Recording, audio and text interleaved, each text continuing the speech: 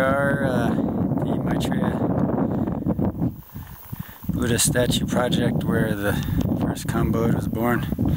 Going to do prayers for the auspicious start of uh, Ghana's Buddha project.